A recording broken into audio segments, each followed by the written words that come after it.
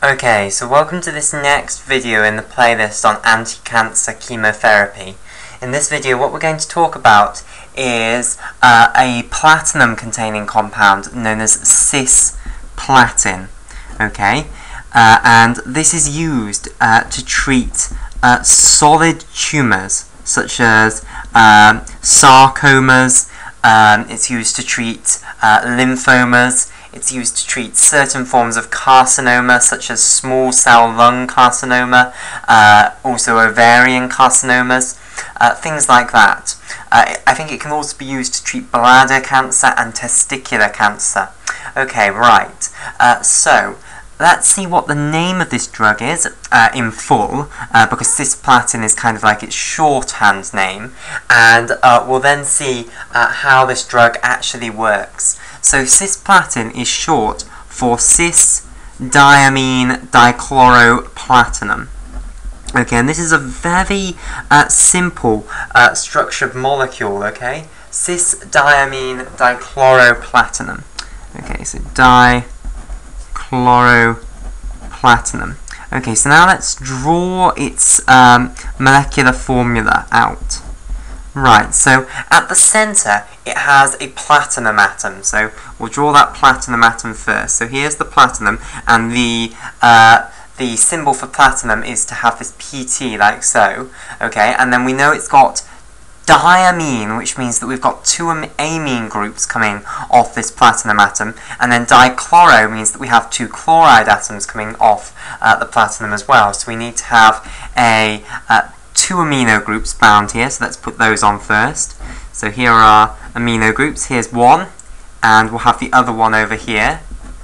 This is our next amino group, and then we also need two chloride atoms covalently bound to it.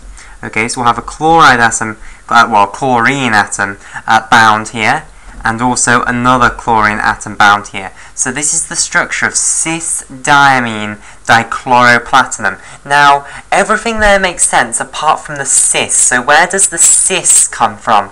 Well, basically, if we look at this structure, if we actually look at how uh, this molecule, uh, if we actually look at the 3D structure of this molecule, then let's draw the platinum first.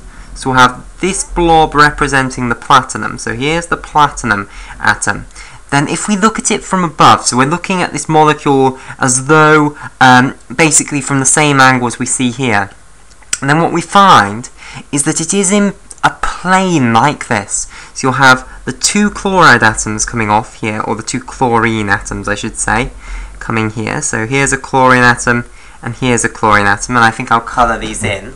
So I'll colour chlorine in blue here. Okay, so these two are both chlorine in blue outlined in blue.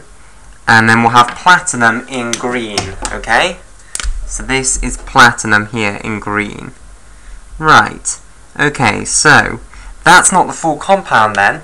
What we then need to add on are these amino groups. So you'll have a nitrogen here, okay, and another nitrogen here, and then off these you'll then have two hydrogen atoms, like one, and then the other two hydrogens coming off here. So let's label these up as well. So these are the N's, and I won't try and squeeze a hydrogen into those four tiny little blobs. So I'll have N in red, and then we'll have hydrogen in orange.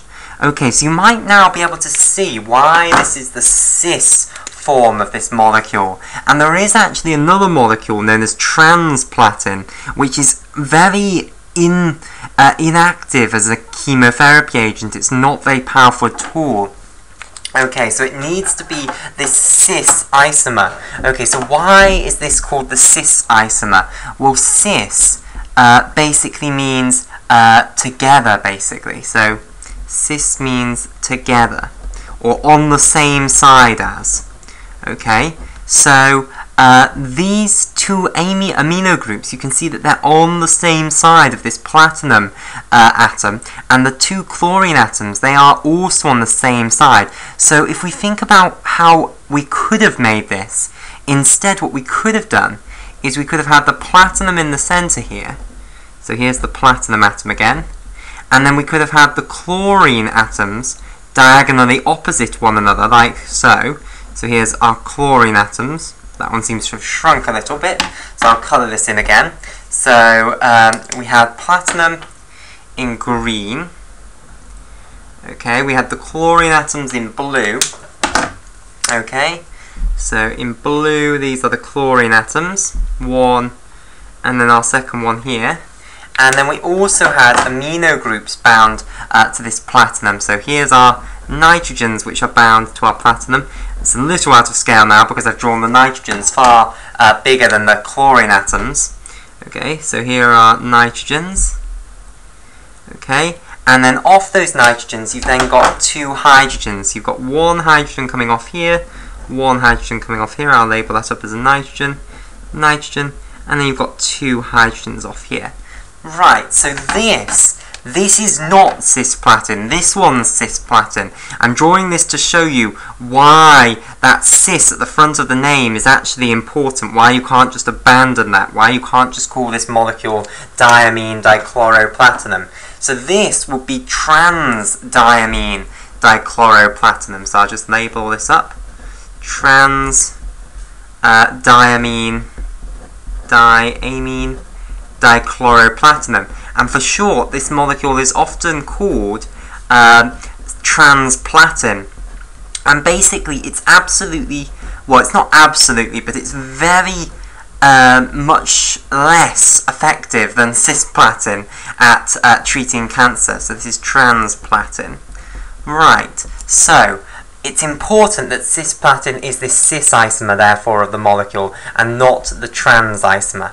Right, okay, so let's now see the mechanism of action of cisplatin.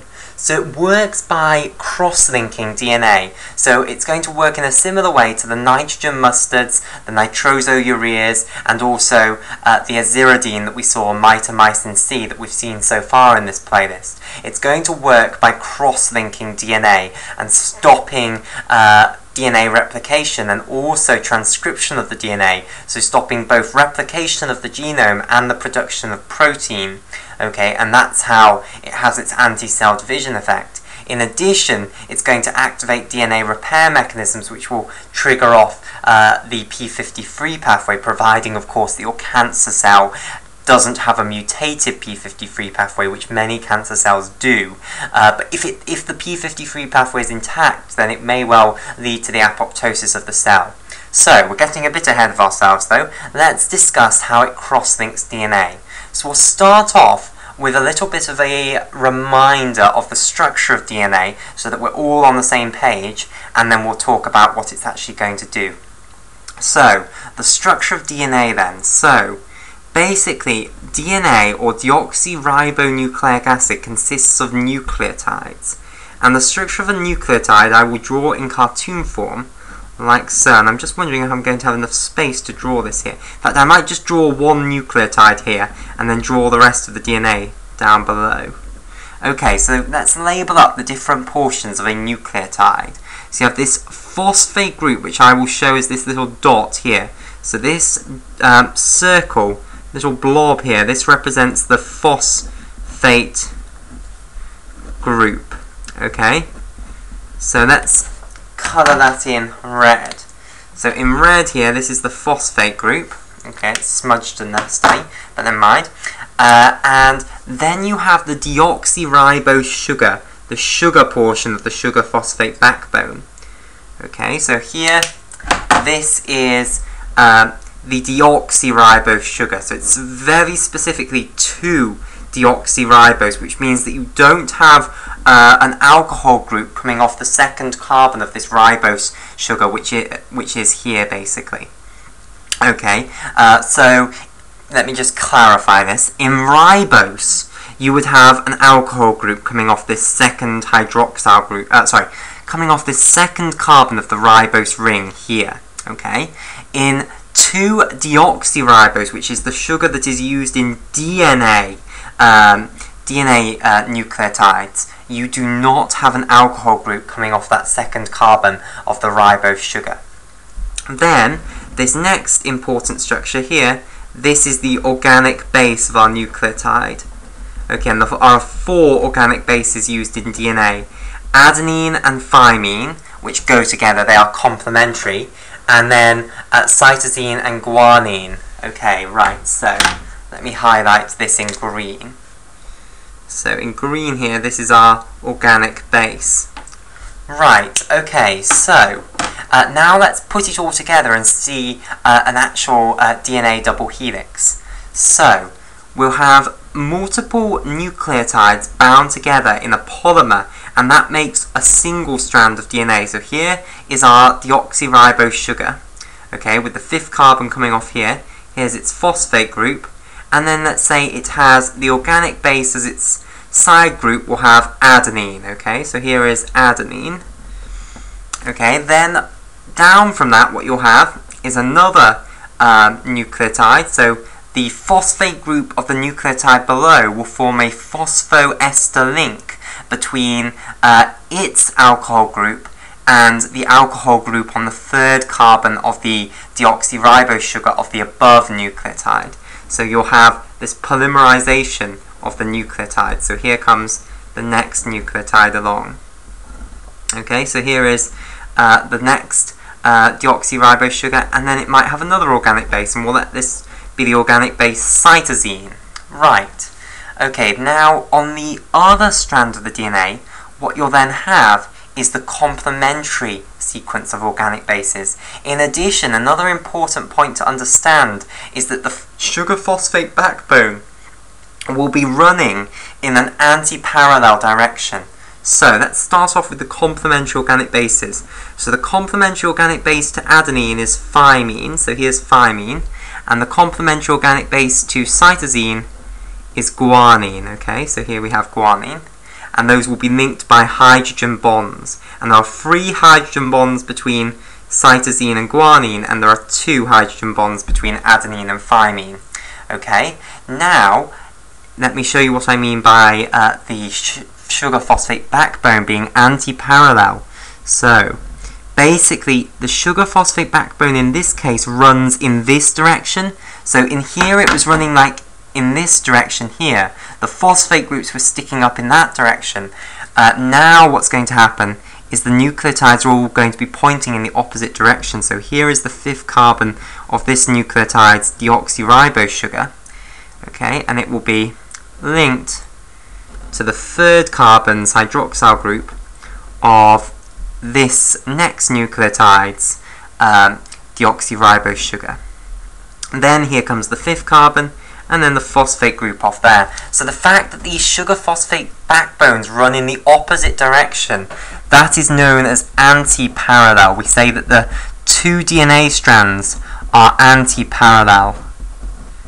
Okay, right. Uh, so, uh, that's a little reminder of the structure of DNA, and of course I've only drawn uh, two nucleotides here because I'm lazy. I don't want to have to draw more than two. So this will go on and on, you'd have another nucleotide here, you'd then go on, and it will go on for, uh, I think the human genome is around 3 billion uh, nucleotides, basically, so 3 billion of these. Uh, not all joined together, of course, it's split into uh, many different chromosomes, uh, but it is long, basically, is the message from that. Okay, so this is our reminder of the structure of DNA. What we'll do in the next video is continue this discussion by seeing what cisplatin is actually going to do and how it's going to form crosslinks uh, within the DNA.